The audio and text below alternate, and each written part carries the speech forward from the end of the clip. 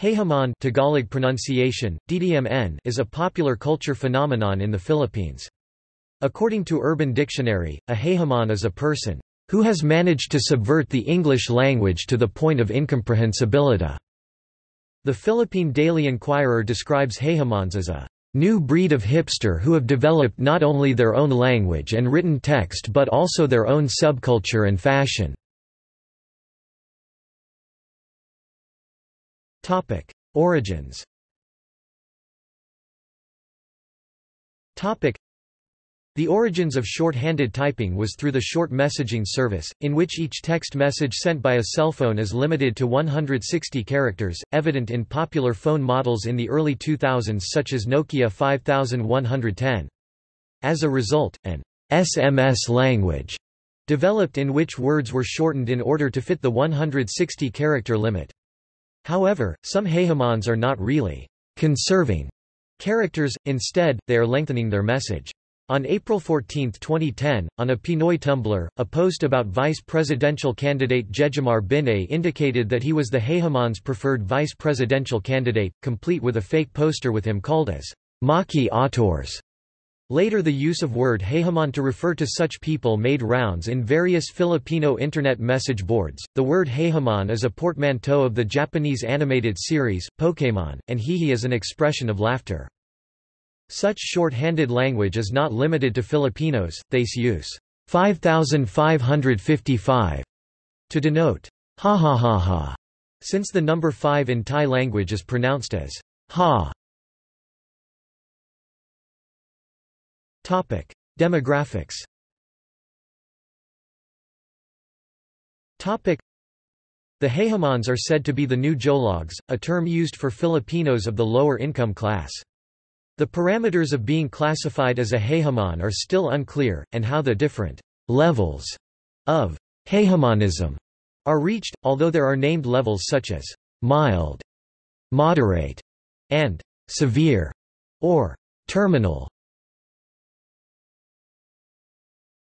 Topic: Language. Topic: The sociolect of the Jejemons, called Jejenese, is derived from English, Filipino and their code-switched variant, Taglish. It has its own, albeit unofficial, orthography, known as Jejabet, which uses the Filipino variant of the Roman alphabet, Arabic numerals and other special characters. Words are created by rearranging letters in a word, alternating capitalization, over usage of the letters H, X or Z superfluous as well as the presence of silent letters characterize its spelling convention. It has similarities with Leetspeak, primarily the alphanumeric nature of its writing. Perceived usefulness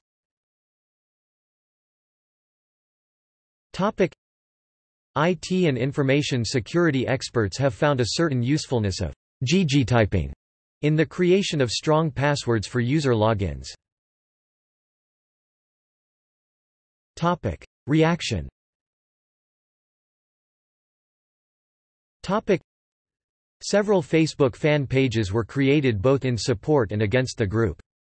Celebrities such as Alessandra de Rossi, Ces Drilon, and Lourd de Veyra have condemned the wholesale ridicule of the subculture. Due to the sudden existence of Jejemons, Jejebusters were created, a group of Internet grammar vigilantes, typically Filipinos, dedicating their Internet lives towards the eradication of Gigi typing and Jejemon existence.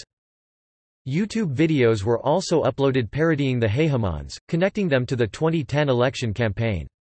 Edited television advertisements of Nacionalista Party proclaiming their disdain, and an edited photograph of Gilberto Teodoro with him holding a sign saying that the Jejemons should be brought back to elementary school, went viral. In 2010, the Filipino GMA network broadcast the situational comedy Jejemon, headlined by Eugene Domingo. As part of the pre-school year cleanup of schools for the upcoming 2010-11 school year, the Department of Education strongly discourages students from using Jejemon spelling and grammar, especially in text messaging. Communicating with others using Jejemon language is said to cause deterioration of young Filipino students' language skills. Decline and a change of definition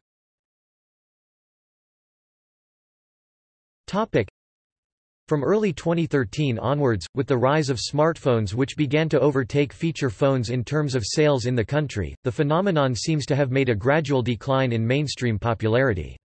Some social media accounts use such spellings to this date, but most of them are used for sarcasm particularly by. The term, Jejemon would gradually shift definition to a pejorative term to describe a stereotype of poorly educated young people wearing hip-hop clothing, roughly similar to the British slang term chav for sportswear.